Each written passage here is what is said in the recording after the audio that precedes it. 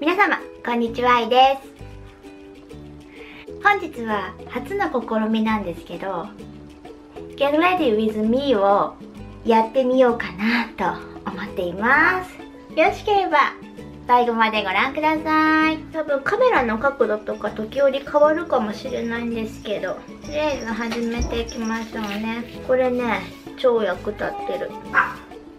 いいですよ。何くんが来ましたね多分私の夏の毎日メイクご覧いただいた方はわかると思うんですけどベースメイクの仕込みがとても多いのでとりあえずささっとやっていきましょうねプロフェッショナル使ってきます。まあ、なんでこんなことを始めたかというとですね、今日 Vlog 撮ってたんですけど、まあ Vlog をね、撮りつつ、準備のビデオも少し撮ろうかなと思ったんですが、どうせなら分けてみようと思って。っていうのも、なんか、今までの購入品とかも使ってどんな感じかっていうのは今のところ使ってみた感想とかも一緒に話せるかなとも思ったしまあいろいろ考えて初めてのことなんですけどやってみたいなっていうのもあって始めましたうんなのでまあ編集してみてねグダグダかもしれないし好きなだけ話してるかもしれないんですけどまあいいかなと思ってます。あんま、ベースペーパーフェクターね使ってます。だからまあもう準備の一緒に準備しようぜっていう感じなので使ってるものとかもさらっとしか紹介しないんですけど私のおしゃべりにお付き合いくださいませ。これ使ってます。ずっと外に人がいるんですよね。だからトトもうるさい。まあしょうがないよね。トトは泣きたいし防衛隊としての仕事をしたいからそればっかりは。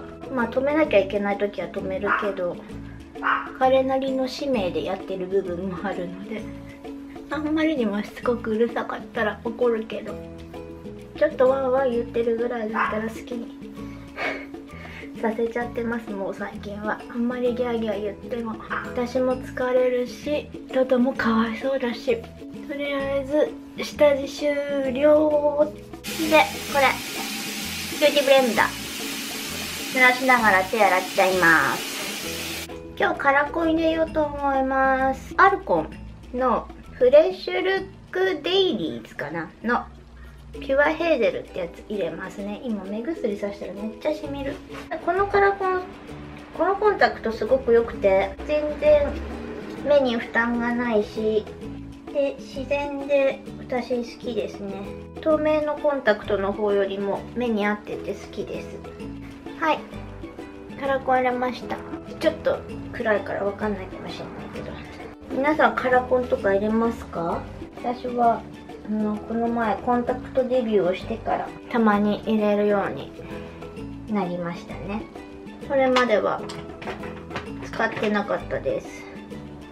まあ昔はそんなカラコンとか入れてメイクするようなこともなかったもんね。って思うんですけど私だけなのかな。顔の色補正始めていきます。もうそろそろこれ買いに行かないとグリーンのコンシーラーなくなりそう。ほんと自分で見てて思うけど厚塗りだよね。いつも。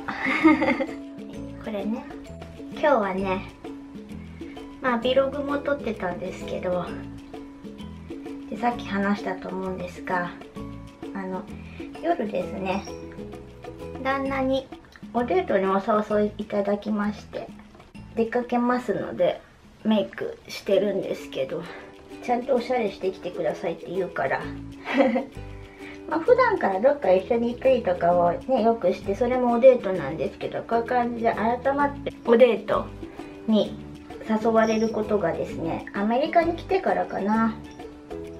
年に12回あってコンサートクラシックのコンサートに行ったりミュージカル見たりバレエ見に行ったりとかっていう感じで本当に大人のおデートっていうんですか？ね何て言ったらいいんだろうね。なおデートに行くことが年に12回ありますね。でちゃんとお誘いをしていただけますのでもうアメリカ来てからなんだけどねそういうことをするようになったのも。だからまあそういうところがアメリカナイズしてるのかな彼もっていう感じで。で今日は私もすっごい興味があって行きたいなと思ってたんですけどでもご存知の方はご存知かと思うんですけどアラン・メンケンさんのですねコンサートに行くんですね。アラン・メンケンさんっていうのはディズニーのミュージック映画ですね。ディズニームービーのミュージックを担当されている作曲家兼まあ今日はピアノのパフォーマンスしてくれるんですけど、まあ、そういう方なんですけどすごいね私なんかも大好きな作曲家さんで。ああもう多分お名前は知らなくても皆さん音楽は聞いたことあると思うんですよね。代表的なのは「美女と野獣」「リトル・マーメイド」それから、えーと、タングルの、えーと、ラプンツェルとかそうそうアラジンとかあの辺とかは全部メンケルさんかなっていうような方でして。なので今日ねあ近くのコンサートホールに来られてピアノでパフォーマンスしてくださるということですごい楽しみです私。フファンデーションこれ使います。ビューティーブレンダーにチッと取ってこんな感じで顔全体に伸ばしていって叩き込みます。あこうビューティーブレンダーね最高です。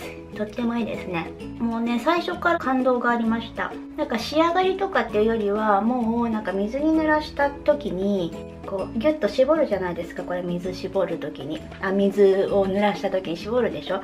その時のなんかジュッとした時の泡の細かさがあのその今まで使ってたリアテクニクスのミラクルコンプレクションブラシあブラシじゃないや。スポンジと全然違くってすっごい細かい泡が出るんです。でジュワッて出てきて本当に中から出てくるっていう感じのジュワッという感じが出てきてでこう肌にこう触れた時の肌触りもの柔らかさが全然違くて泡の大きさからも感じられたそのきめの細やかさが全然違うっていうのがすごい分かってあすごいなと思いました。ポンジの仕上がり自体は、まあ、すごく大きく変わるっていうわけじゃないんですよ。もちろんね。でもツヤ感とかは全然綺麗だし細やかさこのブレンドのしやすさとかきめの細やかさあとなんか余分なファンデーションの残りがない感じとかもすごく良くて。だからスポンジでファンデーションを伸ばすのが好きな方にはもうもってこい。っていうかすごい綺麗。に仕上がるしもう肌触りが何せ良い。負担を感じないっていうの。適度な水分をずっと含んでてくれてなのでお化粧してるこの何分間かで乾いてきちゃってなんかここはこのしっとり感でできたんだけどここは違うとかっていうのがあんまりない。あんまりないっていうかほとなくて。そそういうのもいいかなと思います。でこっち使えば細かいところもちゃんと行き届くしとってもブレンドはしやすくて好きですね。乗り換えてすごい良かったなって思う。もちろんねミラクルコンプレクションスポンジもすごい好きだけどやっぱりねこっち使っちゃうとねなんだ何が大きく違うかっていうのはもちろんあるんだけどそれ以上にこれの良さがもうどう伝えたらいいのかっていうのがわからないぐらいこの繊細な部分が違くてすごく好きでいいなと思いました、まあ、ずっとねスポンジ派だったからなおさらこの違いを感じられてそのね違いどう違うかっていうのは口でなかなか説明しづらいんですけど使われたら絶対にわかるっていうぐらいの良さがありますね、うん、なのでねこれで本当に1年も2年も持ってくれて長持ちしてくれてコスパもすごいいいのを感じられたら最高だなと思ってて今。えっとハイライトコンシーラーします。今後まだねちょっとまだ様子見だけど継続して使っていくのが楽しみですね。ただね全然まあ私お化粧する頻度がちょっと少ないかもしれないんですけどそれでも1ヶ月以上使ってて1ヶ月以上じゃないか。1ヶ月ぐらいは使っててもどこもねボロボロしてこない。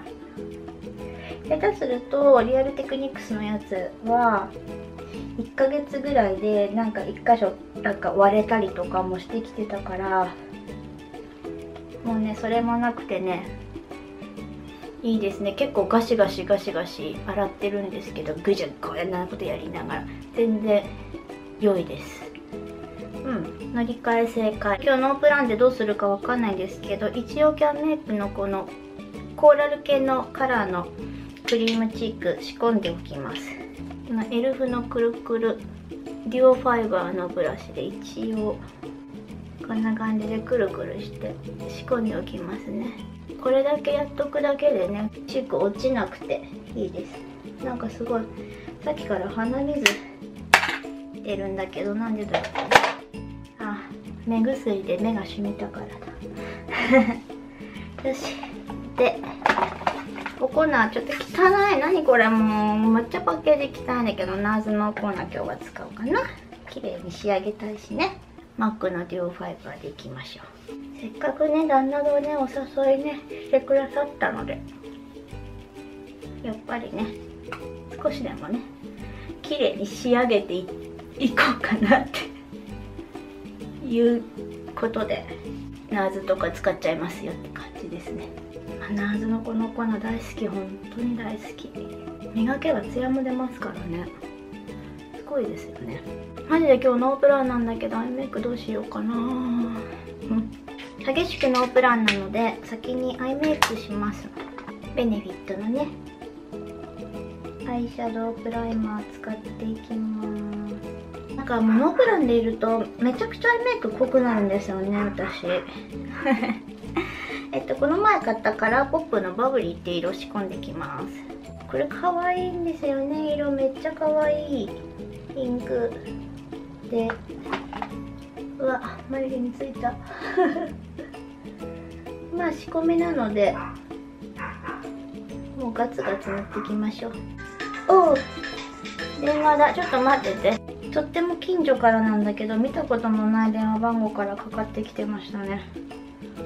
何なんだろうわかんないからとりあえず無視。まあ用事があんならさ留守電残してくれって感じなんだけど今朝もすっごい何回も電話鳴ってもうファックスなんだけど絶対ファックス番どっかのファックス番号って私間違えられてて私の電話番号。で4回も5回も連続してしかも朝の5時ね。勘弁してくれと思って。それは着信拒否しました。本当にしょっちゅうかかってくるんだよね。その同じような番号からだからどっかの人が絶対に間違ってんだと思ってもう腹立つわ。朝から起こされた。はいバブル仕込んだの。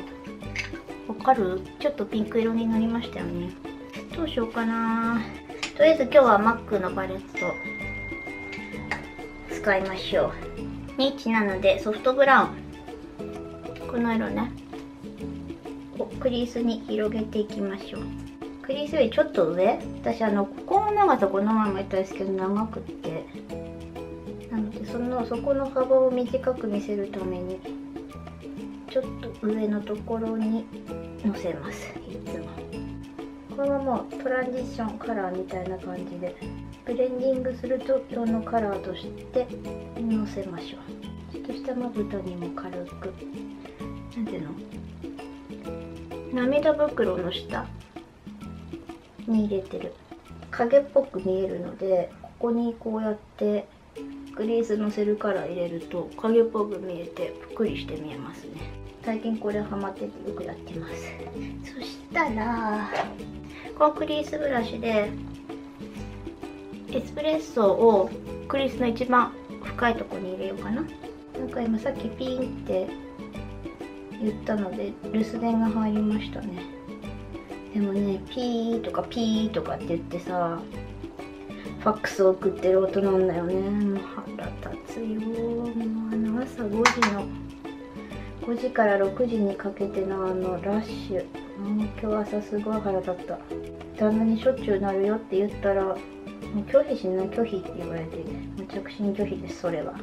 こんな感じでクリースに深めの色を入れて足していきますね。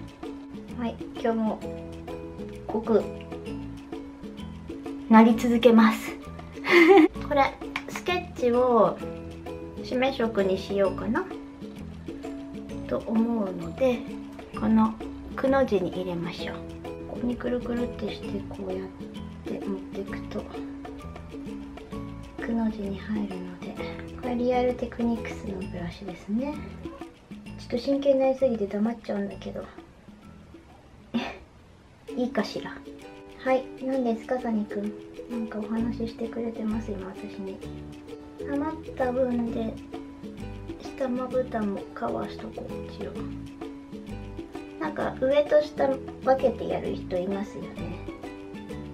私二度手間とかめんどくさいのとか嫌で同じ色何回も出したりとかもするのも嫌だからもう絶対に一緒にやっちゃうんだけど。ファンデーション後とかでやる方とかそうですよね。すげえ濃くなってんでしょ？ナイロン取って先にまぶたに入れます。ちょっと白くしとくことでアイシャドウの発色を良くしようというナイロンここの上に乗せたので今日はね絶対濃くなるの分かってるんですけどこの前カラーポップで買ったステレオっていう紫っぽい赤紫っぽいバーガンディみたいな色をまぶた全体に使います。指で取ってまぶたの際にのせてぼかす感じ。スケッチとかと似たような色だから深みせっかく出してもあんまりあれかもしれないけど今日はちょっとね夜のおデートということもありまして濃いめの暗めのお色でスモークアウトするように作っていこうかなと今は思ってるんだけど大丈夫かな。ぼかしましょう。ここの上のところをぼかしていきます。さっきのスケッチ塗ったアイシャドウブラシでいいので。OK すごい。真っ黒系系だけど。綺麗。多分画面では伝わりづらいと思うんだけど。すっごい綺麗に。グラデーションができましたね。すごいねこれ。まさかのグラデーションが綺麗っていう。こんなになるとは思わなかった。同じ系統なんだけどマットとグリッターですごいね。綺麗ですね。びっくりした。シュルーム使います。シュルーム。ハイライト。そしてここに入れます。シュルーム。目頭。ここはちょっと。後でもうちょっとなんか足そう。グリッターかなんか足そうかな。すごい濃いけどね。ちょっと稀に見ないぐらい濃い。OK とりあえず一回ブレンディングブラシでブレンドしましょう。怖ー、うん、いい感じ。おいい感じ。なんか真っ暗になる前の夕焼けみたいな感じになってきた。最後の日が落ちる本当手前みたいな感じですね。すごいな。あんまりねしないけどね。こういうメイク。あんまり好きじゃないんですよ。あんまりねあんまり濃いのも好きじゃないんだよね実はね。私のアイメイク濃いなって思ってる方いらっしゃると思うんですけど実はあんまり好きじゃないんですけど。でもやってますね。なんかね濃くなっちゃうの。結局。濃くなっちゃうんですよね。だからねノープランでやるとダメなんですよね楽なのはやっぱパレットだよね。パレット最高。何も考えなくていいんだもんパレットって。ね。とイノワ X の何これ。ロールオンシマのプラティナムだったっけ？な色これ。そう。の白っぽい。うわ。黒いのここにつけちゃったよ。じゃあ目頭にのせましょう。いいんじゃない？どこの舞台に上がるんだみたいになっちゃったけど。今ちょっと軽くブレンディングしてこんな感じですね。うんうん。うんいいんじゃない？そしたらアイライン引いていきますかね。削んないとダメかな。これって長くなるよねこのビデオ。そもそもゲットレディーウィズミって長いビデオなのかな。なんかねコンタクトにね字書いちゃった。インライン引きましたのでメイン引いていきますかね。茶色で引いてきます。ラブライナーね。あんまりドラマティックにすると良くないかな。これまんま出ないから一回こうティッシュで拭いて前のアイラアイシャドウとかついてるの落とさないとね出てこないんです。もんあんまり長くない方がいいかな二重幅ぐらいにしましょう。アイライン引いてる時真剣だからな。黙っちゃうんだよね。黙ってる方がいいけど。喋りすぎなんだよ。ちょっとね。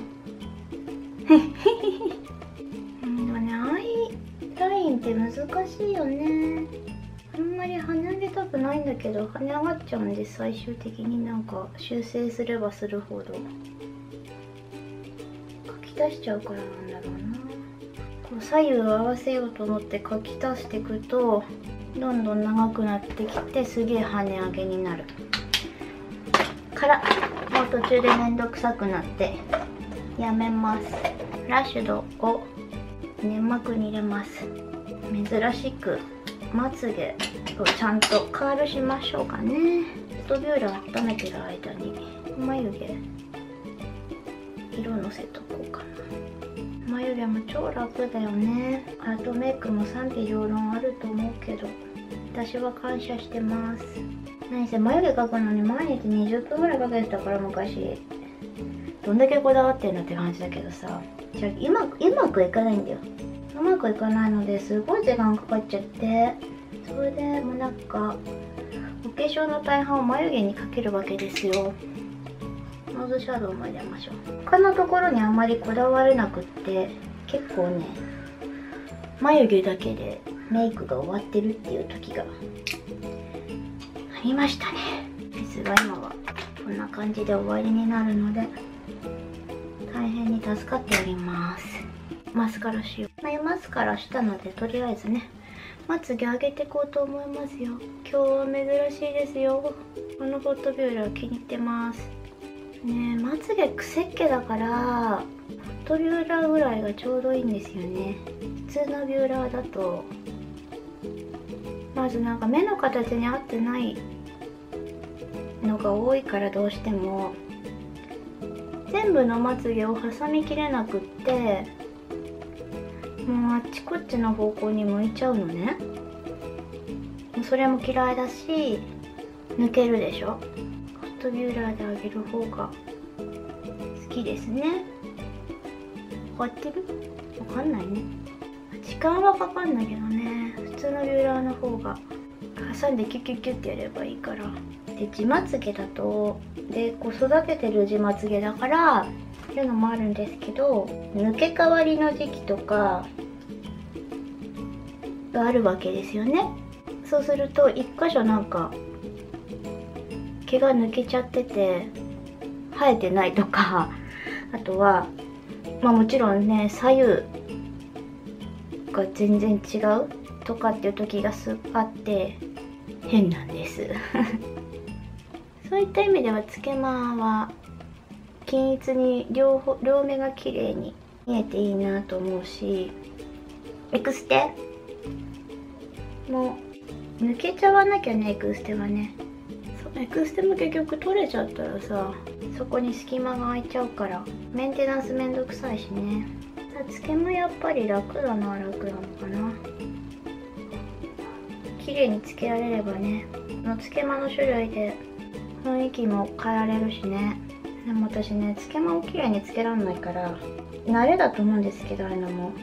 昔つけてたんですけど本当に日本にいた頃の若い時は。でもエクステに変えてからもうつけなくなったしっていう感じですね。ラッシュマキシマイザーね。たっぷり塗っていきましょう。このさラッシュマキシマイザーのさ繊維がたまに目の中に入って痛いの。だからあんまり根元からつけない方がいいやって思ったんだけど。根元からつけなきゃつけないでカールがさキープされないんじゃないかとか思ったりしてすごい難しいこれ。この前すっごい目が痛いってお騒ぎしてたのは多分これの繊維がまつげの根元にはみ出るように乗っちゃってて粘膜もはみ出ちゃって眼球触っててまばたきするためにガリガリやってたって感じ？なんかゴミかなと思って取ったやつがこれの繊維だったのできっとそうなんです。塗った後こう確認して眼球にくっつくとこについてないか見なきゃと思って気をつけてます今。そのそれからね本当に痛かったあれ。勘弁してほしい硬くなるでしょ？これパリパリになって。そのパリパリになった状態の繊維が目にねガリガリしてたわけだからそれは痛いよね。まあ不注意です自分の。欲張るとねそうやって事故るわけですよ。きっと。まあでもそれでも真っ白になるまでつけるけどさ。今までねでもそんななんか目に入っちゃってガリガリしちゃってなんてことなかったんだよね。ずっと大好きで使ってたから。そういう事故というかそういうね失敗もありますから。皆様もお気をつけくださいませ。この子を乾かしている間にフェイスメイクの方に戻りましょう。今日はフーラ使います。このエルフのアルティメイティッドブレンディングブラシっていうもうすごい気に入ってるのこれ。6ドルのやつなんだけど。めちゃくちゃ使いやすいんです。このブロンザーのせるのに最高なんですよね。もう1本欲しい。買えよ。そんな高いもんじゃないから買ってくださいって。プラしたのにもう一回。ロラックのタンタニザっていうこれ姉妹入りのブロンジングパウダーなんですけど。しかもちょっと赤みの強いというかコッパーっぽい色をもうちょっと上の方に足します。タンタニーズはすごい好きなんです私。これハートのやつのキャンディーグローっていうピンクの優しいピンクのやつをのせましょう。ふんわりとねこう顔持ち上げるように感じでのせてきます。これすごい発色がいいからあんまりつけすぎるとお手もやみたいになっちゃう。こんな薄い可愛いピンク色でももうすぐピンクになっちゃうハイライトがソフトジェントルね。あなたかパウダー。ップの下で塗っときます先に。あー喉乾いた。マスカラ塗るから乾いたでしょ。ラブチュールのロングカールのマスカラ。塗ります。これいいよね。これ好きなんです私。で今なんかやっぱりさっき話したんですけど生え変わりの時期がこっちが来てるのこっちの目が。こっちのまつげが若干短いんです全体が。こっちに比べると。こっちはよく伸ばして置いてバランス取るっていう。ちょっと方法に今出ようかなと思ってるんですけど。どうかしら。うまくいくかな。ここが石鹸なんです。塗りづらいし変な方向向くし下のまつげとくっつくし。ほんと嫌いここ。でダマダマになっちゃうの。この子どうしたらいいのか。長年の悩みなんだけど改善されないのでもうねしょうがないじゃんって思って。まつげパーマとかかけたら変わるのかな。昔かけてたんですよね。大学生の時かな。なんかお母さんの友達ができる人がいてお家に来てやってもらってました。まつげパーマ。確か1000円ぐらいでやってくれて最初のうちは母がお友達だからお母さんが払うからいいよって言ってたけど何回かするうちにいいよ自分でも払うって言って払ってました。今はね自分でもお簡単にできるまつげパーマキットもあるしやればいいんだよね。ついちゃったんだけど。なんか若干乾いてなくてアイラインと同化しました。なんかなんか変な感じになっちゃったな。まあいい。私のことなんて誰も見ていません。のでいいです。これは開き直りですね。目の下におこなしていきましょう。光でいろいろくすみを飛ばすお粉です。せっかくだからこのタルトのやつ使おうかな。カラーポップの新しいマットリップもメタリックリップもあるけどメタメタは合わないもんねマットだけだと乾燥しちゃうから多分会場乾燥してるのであんまり使いたくないのでとりあえずこれ使います。いらないけどリップライナー一応しましょう。